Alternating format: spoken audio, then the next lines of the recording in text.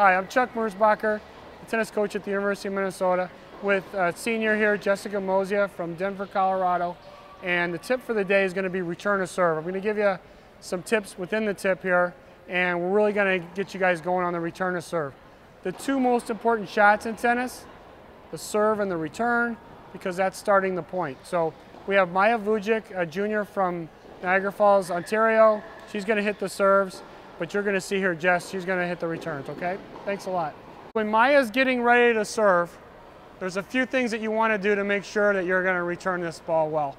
So one is you don't want to get watching the whole player. You actually just want to watch that ball, just like the batter watches the pitcher and really tries to focus in on that ball. If he's watching the whole pitcher, it's really hard for him to locate that ball before all of a sudden it's past him. Same thing for tennis. So Jess is going to be giving herself enough space here to where she can move in and attack the return.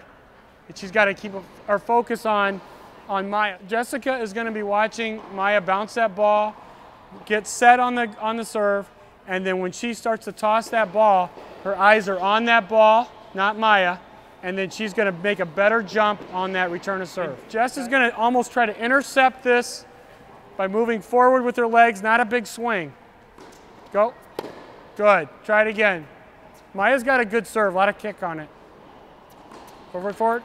Good. Jess starts here, but Jess finishes way into the court, maybe three or four feet.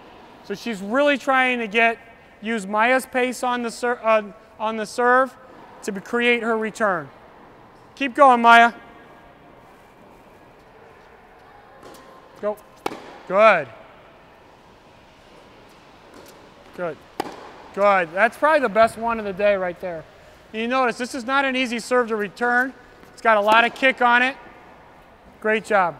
That's the tip for the day, you guys. Thanks a lot.